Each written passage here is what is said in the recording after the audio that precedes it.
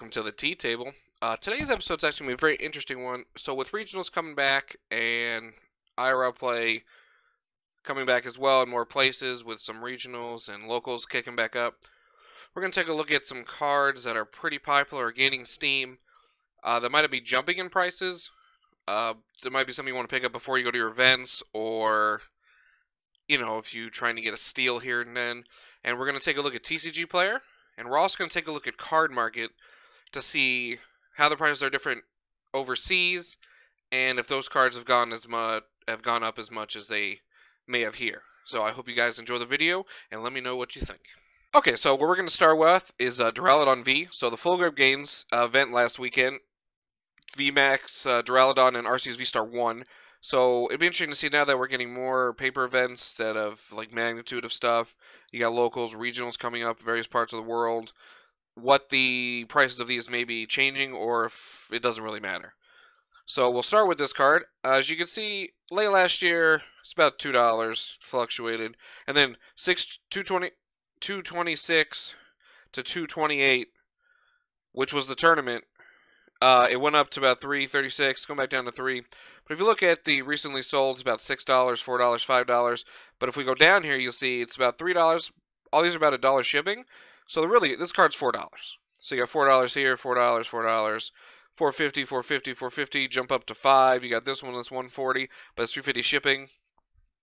The card's to be around 4 to $5 right now. And so if you need them, you can get a playset here, $12 plus a dollar shipping. Uh, you got right here, you got seven, the has seven of them. So if you need to get that, you should probably start getting closer to getting it, especially because uh, we're about to take a look at the VMAX and see how that's changing. So you got Duraludon VMAX. It's got three versions. It's got the alternate art secret, and then it's got the regular and the secret. So the alternate art secret really hasn't changed much. It's kind of flown between 25 and 27 dollars. But if we go to the regular VMAX, this card, boom, literally on Valentine's Day it was six dollars. And now look at this, six dollars, boom, tournament happened, tournament happened. $13. If you look at here, sold $15, $15, 14 So if you go down here, like, all right, $14, 15 So if you look at it, so it's 15 right? But if you go here, it's it's 13.50 but $5 shipping. So it's already 18.50 This one's already 19 This card's going to be $20 easy. Because if you look at the ones over here that are less, there's not so many of them. And then if you look at it here, we got Mr. Magic LLC. They have 26 of them. So the card's going to be, like, stuck here for a while basically, unless they sell out or choose to change it. So this card's definitely hitting $20 easy, which is an insane jump from like two to three weeks ago when it was five, six bucks. And if you're gonna want to get it, now's the time because if this does well at any regionals, who knows? This could hit thirty dollars. Not even close. Uh, then you do have though the secret rare. So the secret rare jumped up, but it went from like nine to eleven. So interesting about the secret rare is um, there's only this many listings of it. So I know everybody likes secret rares, but sometimes it's the cheaper option because you got this was 1150, like 13, 13, 13, 15, and then it jumps to 20, and then you got the cool store down here that says it's $10,000. Don't worry about them. The card will never be $10,000. That is something you got to watch out for when you do this kind of stuff. Um, is watching out for the store that makes it insane so that it drives up the price and messes up with the algorithm. So you got Duraludon VMAX. Here you got Duraludon. What about Arceus? So Arceus here has a lot. Each each one has three. So we'll start with the uh, the regular V here. Okay, so you got Arceus V, the regular, not full or whatever. So pre-order, don't worry about pre-orders. It came out last weekend, it's about 15. It looks like it's going back up to 20. Sold here about 17, 17, 17. So you look here, you're not going to go below 17, 17, 17, 18 on the first page. So we'll go to second page and see. Sometimes it jumps up insane. Uh, 18, 18, basically 19, 20. So if 18 to 20 dollars is probably what you're gonna pay for this card. And I don't see a reason it would go down. There's a promo box coming out, but it doesn't come out I think till April. So that one will probably end up being the cheapest because it'll be the easiest to acquire. But for now, 18 to 20, especially if you're gonna go play in regionals and stuff it's the one you're going to be getting. And then you got the full art. So the full art is very interesting. So pre-orders, whatever. It dropped down to 20, and then this past week it's been going up to almost 30. If you look at sold, basically 30.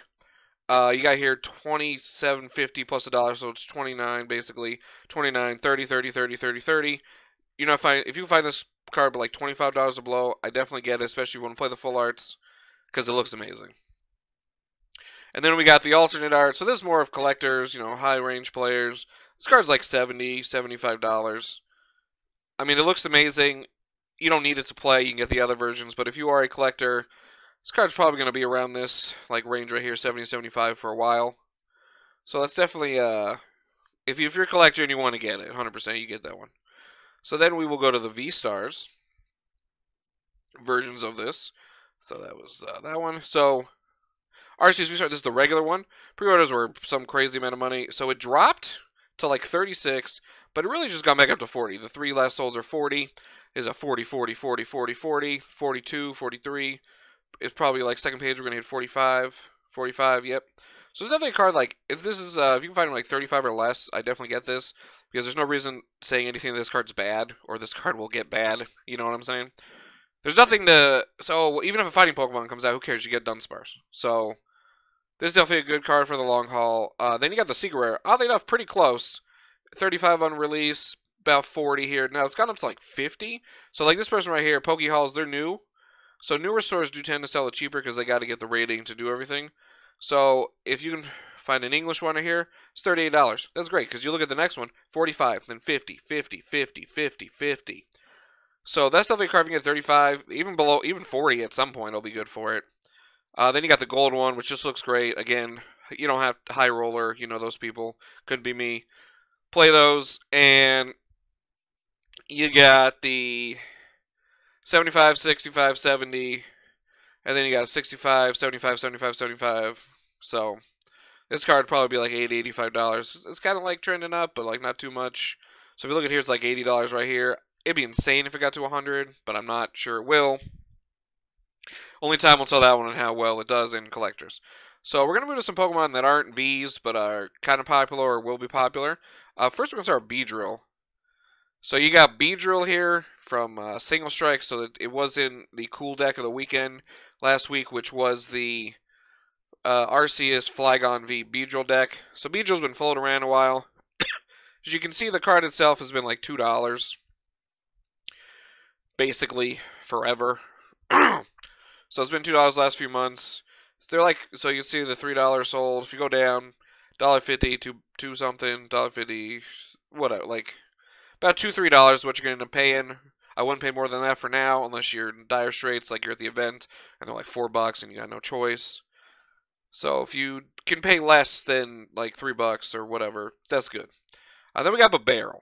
So Bibarel's is quickly becoming a good card out of the set of people are playing. Trying to see a five, it's great. So not worried about uh, price rate so much because it's like a, a rare. But if you look at the sold ones, they're about two dollars. Some guy got one for eighty-seven cents. So look here, you do have the seven. It's about a dollar, two dollars for the card. Dollar fifty here, dollar fifty, two dollars, dollar fifty, dollar fifty.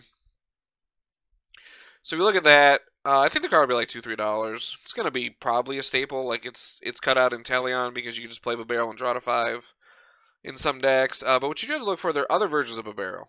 So what we got is uh, a Bibarel, um, the the pre-release deck one, and the pre-release deck one you can only get in the like seeded pack in the pre-release. So there's really not pricing data because not too many sell because the other one's cheaper. But this card's about like two to three dollars. You just gotta be careful when you're buying them that you don't like someone's not selling the other one and you get overcharged because they looked up this price. So that's something to look at. And then we got the pre-release Bibarel, my favorite. It's like five six dollars. But if you want to, if you're gonna barrel for the long haul, you definitely want this Bibarel because look at it, it looks great. Like I said, five six dollars here, six bucks, seven, eight. It's gone up since I last checked two hours ago. Uh, you got that. Uh, we got double turbo energy. The only reason I have this on the list is like 50 cents for a regular one. But I got the reverse holos popped up. They're like $2 right now. If they don't make a secret rare, which we haven't seen them doing so far, even in the next Japanese set that got released recently, it's probably like a $5 foil. So you see a uh, foil save for 250 So if you want to, if you like foils and stuff, this is definitely something you want to pick up now because I think it'll go up in the future because this card's just good and it's going to be in so many things. As for the regular, they're like 50 cents, maybe a dollar, depending what your LGS is doing and stuff.